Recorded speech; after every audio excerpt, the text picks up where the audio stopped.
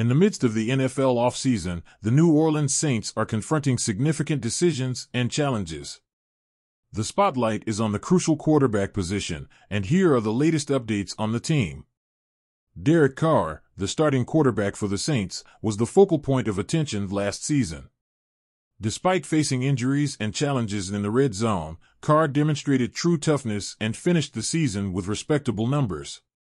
With 3,878 yards, 25 touchdowns, and a rating of 97.7, Carr returns as the undisputed leader for the 2024 season. However, uncertainty surrounds the backup quarterback position, as Jameis Winston, who performed well in the last game of the season, is set to become a free agent. The decision to retain Winston could depend on various factors, including his performance in crucial situations. In addition to player decisions, the Saints could face changes in the coaching staff.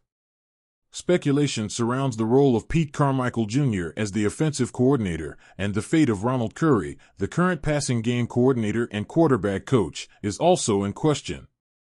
These decisions could have a significant impact on the team's direction. Despite some fans' expectations, it seems unlikely that the Saints will select a quarterback in the first round of the draft.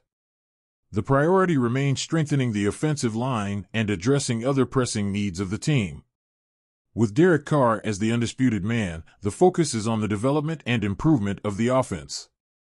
Derek Carr is set to lead the Saints offense for the second consecutive season, but decisions about the backup quarterback, coaching staff, and draft picks will be crucial to the team's success in 2024. Now, I want to hear your opinion. What do you think about the critical decisions facing the Saints regarding their backup quarterback, coaching staff, and draft picks? Let me know in the comments. Don't forget to subscribe, like if you enjoyed the update, and activate the bell to stay updated on any news about your favorite team. Together, we'll explore the exciting journey of the Saints in the 2024 season. Until next time.